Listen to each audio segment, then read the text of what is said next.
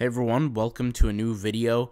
Today we're going to be creating some awesome gamers gear through Zazzle. So, you guys know that there's a huge community of online gamers. Well, Zazzle is also a huge community. And with Zazzle, consumers get to create products that they also get to customize, which is pretty fun and pretty insane, actually.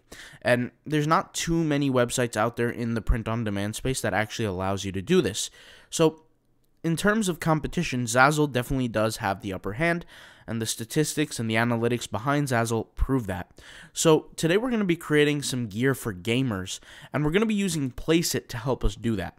Placeit is a website that has literally millions and millions and millions of different images, mock ups, different things, and different graphical resources that can help us in our Zazzle journey, I guess you could say, in our print on demand journey. Um, and it's not just Zazzle, we can use this for all different aspects, but today I'm going to be showing you how to create these, uh, you know, some gear for gamers. Uh, and I know that, you know, not everybody might like to create, let's say, designs for gamers, but the reality is, is I always ask myself, where is the money, right? And I know that something about gamers is that if you're on an MLG team or if you're on a gaming team or you want to create a gaming team with you and your friends, which is a lot of what the young guys are doing today, because uh, gaming is so prevalent and so well known, they're going to need a logo. They're not going to need a mascot. They're going to need a team. They're going to need a lot of different details and a lot of different things for this. So, what you can do as the seller is benefit off of that. See, before gamers, you know, a lot of gamers, they're not graphic designers. They're not, you know, they're they're not um, let's just say they're not you know they're not looking for quote unquote passive income. They usually think of making money on stream. They're making money uh, you know by streaming their games and but they need logos. They they need stuff like that. And they need gear for their stuff. And they might even sell some of this gear as their merch. Well what you could do is you could feed into that by creating designs for these gamers, leaving them on Zazzle to where they can end up customizing them and utilizing them. So let me go ahead and show you what I'm talking about here. So here, for example, I saw a picture of this Viper. Um, and what we could do is I believe this is, or this is a Cobra or is a Viper. I don't know. We'll, we'll actually end up seeing. Let me see here a picture of a Viper. This actually looks like the Shelby logo or the other one looks like the Shelby. Let's see, is it Viper or okay, yeah. So I'm I'm assuming it's a Cobra. Let's go ahead and see the Cobra, Cobra Mustang, I believe. Is it called the Cobra Mustang? I believe this is what it looks like. So the, the, what I'm really looking for is the the logo, right? So that's Cobra. All right. So this is a Cobra. I'm assuming. All right. So let's go ahead and open up this Cobra logo. You can see here. This looks great. What we can do is we can alter the text here and we create a, a word behind this. So instead of the word ninja, let's go ahead and type in cobra. And let's go ahead and remove actually I want to remove fighters group and we'll, we'll just label this the cobras right? So cobras. And for our color here we have our main color we have our background um, we have our actually we have our text color as well. Let me see. And guys, be very very comfortable playing around with the colors and the designs. Um, when I'm thinking of when I create a design for a T-shirt, I'm thinking, okay, let's say I want my T-shirt on Zazzle to be black. Okay. Well, then in that case, I can't go with black text. I could go with a black, you know, surround, like a, you know, a, a overlay kind of thing. Not overlay, an accent, but I can't go with a, a black kind of surround. But what I'm going to do is I'm going to go with the background here as black for now, just to represent that black in terms of the t-shirt, right? And so let's go ahead and see how that color pops now. That's actually pretty cool. Now we have the main color. The main color, let's just see if we what happens when we change this. Will that change the color of the actual Cobra? Because if that's the case, I want to change the color. Okay, good. So it does, we are allowed to change the color. And I'm going to go with something like a green, because that's what, you know, Cobras are. Uh, and, and you guys could feel free to, um, to go ahead and do this yourself. So I'm not really sure how this, let's see what we could do here. Okay, there we go. That was my mistake. Um, so let's see what color green we get. We got this color. Let's see if we could go with something a little darker. And the more you go down here, and by the way, on Placeit, I'll leave the link in the description box down below if you want to go ahead and join Placeit. I am an affiliate. So you can see here Cobras, and then what we could do is we could actually change the color of the text if we really wanted to, right? So we could use the same green for the Cobras we could use for the text here. Let's see how that looks. And I really like this this uh this spray paint on the background. Um, we could actually change it if we wanted to. Like we could use different different styles and different setups, like something like this. I actually really like that. And what I could do is, I believe this is an accent, so I could change the color of that accent. So I could go with yellow, for example, right? And let's see how that looks. And you could see here now that looks pretty cool to me right? So the same color of the Cobra and the inside is yellow, same as the accent. You could do this all with Placeit, So this is really, really cool. Now, in terms of the background, what I want to do is there's a lot of things. Well, here's the thing there's a lot of things that I can do, right? When I export it, ideally, I don't necessarily want a black background per se. I might want to go with a white background right? So let's go ahead and hit download here. And it's actually going to download my work. And you can see here, I've done this a few times now. So I'm going to go ahead and download it. And let's just wait for it to download. Now, the cool thing about Placeit as well is that when they, when you create designs on Placeit, you can access the designs that you've created a while ago and you don't have to worry about deleting them to free up space or memory or anything like that. You just go over here, click on My Downloads, and you access all of them. Now, if you notice here, when I create this gaming logo, I've have two versions uh, you know, essentially downloaded. So I'm going to download both versions here. Um, and one is going to be, from what I believe, a transparent. And then one is going to have the color as the background, right? So let's go ahead and see what happens here. And I think it's going to be the first one. But let's just wait for them here. They are very graphically inclined, right? You could see here it's a great art. So let's give it a second. And remember, guys, here, the goal is to sell these designs on Zazzle for people to customize so that we can get some bulk orders. The cool thing about Zazzle is that you're allowed to have a lot of, well, it's not that you're allowed, but there's a lot of bulk orders that actually happen on the platform. So I'm going to head over here to Zazzle on this new account that I created. And by the way, I will have a video coming out very soon on uh, me creating a brand new account on Zazzle and showing you guys how that works. But let's head over here to Zazzle. Now, if you haven't already logged in, you haven't created an account, uh, and you want to wait for that video to come out, go ahead and wait. But if you want to just sit back and enjoy the content, uh, well, then let's go ahead and get started. So let's go over here and go to sell, and we can choose what products we want to sell. I'm going to go ahead and go with the t-shirt first, right? And what I'm going to do is I'm going to go over here and click add image, okay? And I'm going to get to upload these images that I just exported and that I just created from Placeit, right? So this icon, this image, whatever you want to call it, I can upload it straight into my Zazzle account here. So I have two images uploading. So the, you could see here the second one is the transparent one. This is not transparent, right? So I'm just going to go ahead and delete the non-transparent one. And I'm going to add this one here on the bottom, okay? And what happens is, is, is when you're a gamer, uh, if you guys are familiar, there are all different kinds of gaming shirts, gaming jerseys, gaming gear. It doesn't really, there's no rule or there's no law as to how to set this up. And the cool thing about MLG and all these kind of communities is that they don't have certain requirements as to how the design is supposed to be created, right? It's not like the name of the person is supposed to be the first name or the last name, or it could be a nickname. It could be anything, right? As if, you know, as opposed to the NBA or the or the UFC or things like that, they have a specific uniform that you do have to wear. So with this, I'm to go ahead and drag this right about here. Okay, and then what I'm to do is I'm to add a name here, like a, a customizable name. And by the way, I know this looks off center, but what I'm really doing is I'm looking at this image here okay? I'm looking at the preview in the bottom on Zazzle so I can see how my image fits. It's all about how my image fits with the with the accents in the background as opposed to um, the uh, what what it's showing here on the on the designer. Okay. Now what I'm going to do is I'm going to add my text here, and this text element is the element that's going to be customizable. So let's say for the element name, I might go with uh, let's say Jason, right? So let's say that's the name that we want to add. And so let's say we add this here okay? And what I want to do is I want to match the color. So I'm gonna head over back back to Placeit, and I'm going to just see what color code that color is. So if I go back to here to custom this is the color.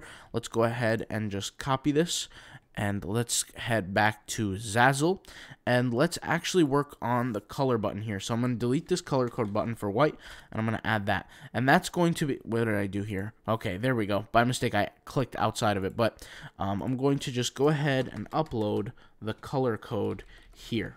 Okay, and so you can see here now it's green, the same color as the Cobra. And what I could do is I can increase this, right? And I leave this to the side. And then what I want to do is just shorten the text view. Okay, so because I want to I want to have this all fit perfectly. Okay, and I'm going to leave it to the left side a little bit. And what I might do is I might add like a number, right? Because I know that jerseys, some guys have numbers on their on their t-shirts. So let's say I might go over here, hit add text, and I might add number one, for example, right? And I might do this right here and it doesn't have to you know be like a crazy good fit but uh, we could always play around with how it works you know if i want this to be like right here for example i can do that and move this downward so that I actually like the way that looks better so let me just increase the size of the name here and move this downward okay and so now I have two customizable elements for this MLG gaming jersey, right? Or gaming t-shirt. I have the name of the person and I have the number of the person. And I'm just going to go ahead and click done here, right? And now I get to preview how it looks. So I have this name, Jason, I have the number, and I have the logo. Now, the cool thing about this is whoever gets to sell this, or excuse me, whoever gets to buy this, they get to customize this. They get to see this on other products as well, right? So for example, let's just see how this looks on a shirt like this, right? Or a shirt like this, or a shirt like this for example and we get to see how this looks. Now we can edit the design we could do a whole bunch of different things but when i go to publish this design right and i actually don't want it to be this small so i'm going to head back into the editing here. I'm not exactly sure what happened. Oh this is for the uh, right hand corner so let's go ahead and click done here. Depending on what uh, I just realized this. Depending on what design, usually I only create for one, but depending on what design that actually ends up, or what product, excuse me, ends up being created, um, it will basically view the product a little bit differently. So here, let's go with this. I actually like the way this looks, and so let's go ahead and click sell it okay? So when we sell this product you have things like your title your your uh, marketplace all these other things but you want to go down here and you want to make sure that this is enabled this customize it button. Now if you have a design that's not customizable you don't have to enable it right um, it's up to you, but really what Zazzle is as a platform is they create products or they allow products on their platform that are allowed to be customized. So we just created a gaming shirt, right? And that gaming shirt can be customized in terms of the name, the number, etc. Now, when you publish a shirt, I don't want you to freak out because it takes roughly 24 hours for somebody to approve your work on Zazzle. So it's not going to appear right away. It's not like it's, you know, 5 hours or whatever or 2 hours, um, but and um, uh, you see here there's actually a notice. It says since this is a new product you have 24 hours to finalize your royalty percentage etc um, it's essentially before it's published right? You have you have the chance to do all this. Um, and all the changes go into effect once a month. So Zazzle does have different rules behind, you know, royalties and setting up pricing and things like that. So, for example, with the royalties, um, it's not as easy or as straightforward as, for example, Redbubble. You know, with Redbubble, I can go in, I can change the royalty for each product if I wanted to. That's not the case with Zazzle. Um, now, I'm not sure why that is, but that's perfectly fine. You would have to be able to set a certain customization number here. Now, since this is highly customizable and it's for a specific purpose, I feel comfortable charging more for this. So I might go with, let's say, 12% profit for this, right? Or even, let's say, 15% profit. And I could just really just gauge the pricing here. And I could see what other people are doing as well. So if I go into Zazzle, let's go ahead and go into Zazzle. And let's go into Zazzle.com. And if I just search for gaming shirt, I'm just interested here in what kind of other kind of shirts that we have. And I don't I don't think anybody's really took our idea in terms of like doing an MLG style uh, like a gaming jersey or gaming shirt. But you could tell here nobody's really done that and the prices are basic 1950 1950 but the products that we're selling at is i want to actually charge more for this so that when there's when people buy it in bulk because they will buy it in bulk if they're part of a team right and they want this specific logo and it's easy to create, they're gonna buy it in bulk. So what's gonna happen is is that the the uh, the price of that product is going to get cut. And I'll just show you guys what I'm talking about. If I select this design here, I can go over here to quantity and I could choose how many I want to buy. So if it's a team of, let's say, 11 people, you know, it could be a smaller amount or 20 people or whatever it is. And you could do this for sports you could do this for gaming you could do this for whatever it is. So um, and by the way uh, i have seen over time that zazzle does change how they discount things in bulk. Just yesterday on a certain product i believe it was the was it the keychains? I'm not sure. I was designing the keychains but um, they had uh, sales for anything over uh, 20 so it just differs how, how things are set up here. Um, and they had a huge sale for if you order 100 or more, something like that. It was over 50%. So just just be aware about this and, and you know, kind of be aware. But regardless, for the design here, where is it? Um, here it is. You could set your own uh, royalty. Now, in terms of tagging, I won't be going over that here because I do have a specific tagging course, as you guys probably already know if you saw yesterday's video. Um, the tagging course is just how to properly tag on Zazzle. There's really no surprises, no gimmicks, no nothing crazy about that.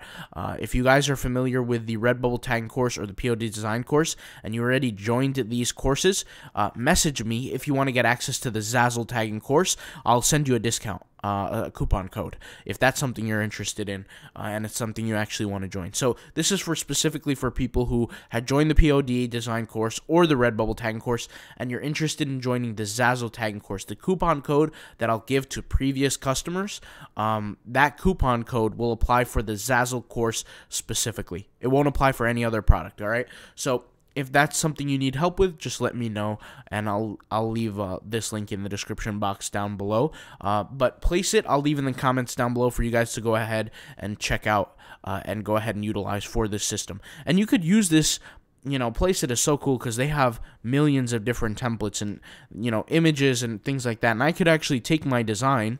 Let's actually go ahead and do this. I could take my design, I could put it on a shirt like this, for example, and I could promote this to Instagram. I could promote this to Pinterest. I could utilize content like this that not that many people have to go ahead and sell.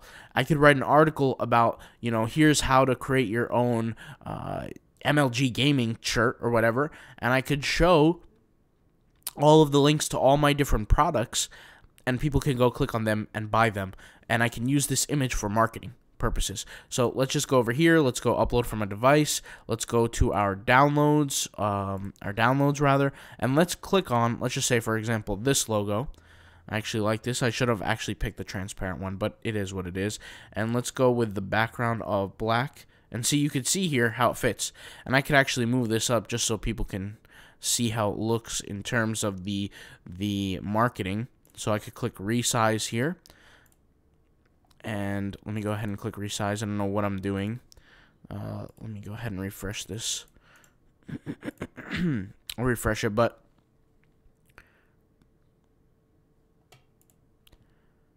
upload from device. Yeah, let's pick the transparent one. So the transparent one is good enough. And you can see here, I'll just drag this to the top slightly, just so it's a little more visible. Right? And so there we go. So that's the icon. And I could switch this top here to green. So that's a good gaming shirt, if you ask me.